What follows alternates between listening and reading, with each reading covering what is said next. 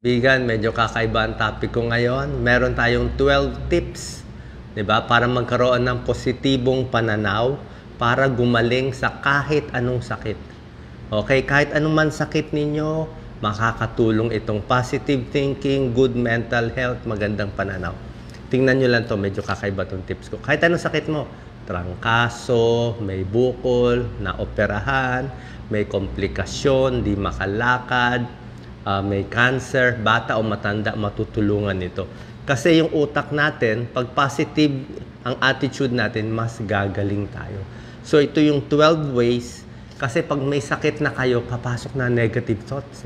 Isip mo, mamatay na ako, depressed na ako. Lalo mong ipapalala ang sakit mo. So ito, ilalaban natin. Kung kayo ngayon may sakit, may matinding problema, financial or or health, try nyo to. Number one, ang positive attitude, iniisip mo na maganda ang mangyayari in the future, kailangan yan mabilis kayo, para mabilis kayo gumaling. Ayon sa pag-aaral, mas mahaba buhay ng mga taong laging positibo ang attitude. Less depression sila, less sakit sa katawan, mas hindi tinatamaan ng sakit. Mas nababawasan din yung pagkamatay sa sakit sa puso, stroke at cancer yung positive attitude. Simple, libre, kaya gawin ng kahit sino. Number two, ito ang problema natin kung may sakit tayo. Don't let sickness reach your mind. Pag meron kang kaya may lagnat ka, may nasabi yung doktor, uy, may bukol, kailangan tanggalin, baka masama na ko. Kung ano-ano na papasok sa utak mo niyan, sasabihin mo, bakit ako? Lalo ka nakafocus sa sakit mo, lalo ka magkakasakit parang kawawa naman ako, ba't ako minalas, dapat yung iba na lang minalas. So, distract mo yung sarili mo, gawin mo lang kung ano pa kaya ng katawan mo. Okay? Don't let sickness poison your mind.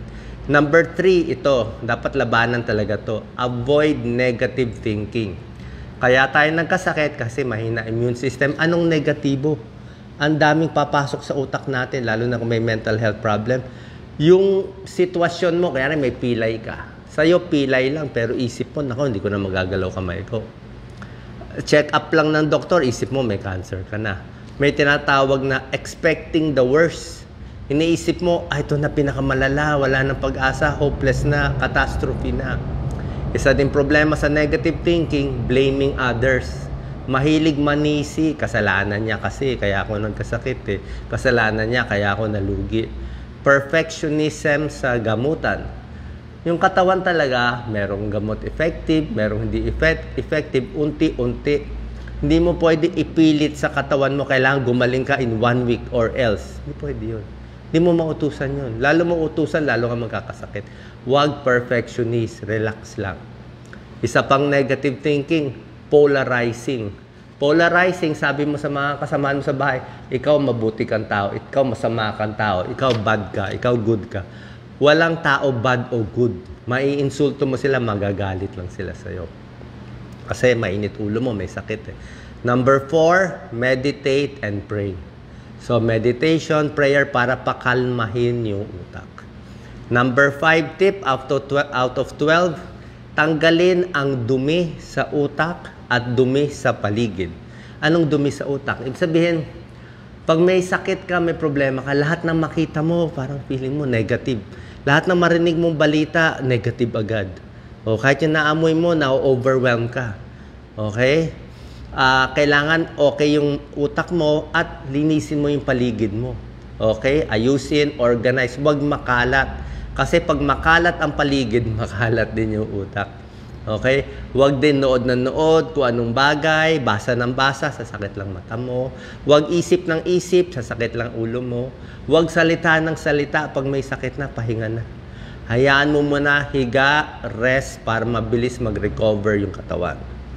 Number six, kung may sakit, eat good food. Okay? Pag may sakit kayo, sigurado ako yung tiyan nyo uh, hindi makatunaw. Di ba? Hindi kayo matunawan. Walang lasa hindi makatunaw. Kaya piliin nyo pagkain malambot, very light, madali ma-digest. At para sa good food, maraming fluid. Tubig, fluid, juice, tsaa. Ako nga, pag may sakit ako, 10 to 12 glasses of fluid. Kadalasan tubig, pero minsan uh, ginagawa ko sa basong tubig, konting juice lang nilalagay ko para malabnaw, para hindi tumaas yung calories, para may lasa lang minsan. So, konting juice, tapos puro tubig, o minsan tsaa. Chamomile tea, may chamomile tea ako dyan. So, halo-halo, makaka 10 to 12 glasses of fluid ako. Ihi ako ng ihi every 1 hour, every 2 hours, okay lang yon Bakit? Fluids, pampababa ng lagnat. Okay, pampababa ng lagnat fluids para hindi masira kidneys mo, uminom ka ng antibiotic eh. 'Di ba? Kailangan may panghugas para hindi ka ma-kidney stone. Kasi pag may lagnat, na-dehydrate ka. So, tubig lang ang panlaban mo, maligam-gam na tubig, tsaka pilitin kumain kahit walang gana kumain kasi kailangan mo na energy.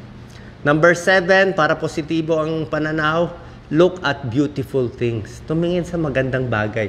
Kung may bulaklak, uh, kung meron kang old album na maalala mo nung bata pa yung mga anak mo, fond memories, nice memories, pwede ka tumawag sa close friend mo para lang malibang ka. Mawala yung isip mo sa sakit o sa malaki mong problema. Number eight, kailangan maligo. Okay? Unless malala yung sakit mo, pwede naman maligo. Kailangan malinis. Warm bath, warm water, less pain sa katawan less depression. Bagong ligo, mas mag, mas maaliwalas, mas mabango, mas komportable, hindi ka nangangati sa sa dumi. Tapos pagkaligo, magpalit ng bagong baro. Okay? Malinis na baro, malinis na beddings, malinis na surrounding, malinis, look better, feel better. Number nine, kailangan may social support eh. Kaibigan, mahal sa buhay, kapamilya o partner, okay, kailangan meron ka nakakausap. Call a friend para less depression. Di ba sabi nga, love makes the world go round. Kailangan mo ng support system ngayong may sakit ka, hindi natin alam kung malala o hindi. Lalo na pag senior. Pag senior, halos linggo-linggo may bagong sakit. Number 10, pag sobra ka ng overwhelmed, pag hindi mo na kaya problema mo, wala kang pera, wala kang mapuntahan, ang sakit ng katawan mo, hindi ka makagalaw, sakit ng likod mo. Pag overwhelmed ka na, pwede naman iiyak. Okay, pwede mo naman iiyak yan, catharsis yan eh. Malabas mo yung emotional trauma. Pero para sa akin yung iyak. Sa babae, pwede umiyak. Sa lalaki siguro, dap- akin lang ha, dapat medyo controlled yung iyak sa lalaki. Kasi pag nasobrahan, minsan baka parang hindi rin maganda sa mental health eh. Pag nasobrahan, baka hindi na kaya maibalik eh. Oh, anyway, kanya-kanya naman yung style, kanya-kanyang uh, utak, anxiety, and depression. Number 11, very effective. Kailangan may music ka lagi. 'Di ba? May Spotify, may music, mag-download ka sa YouTube, relaxing music, instrumental, pampa-relax.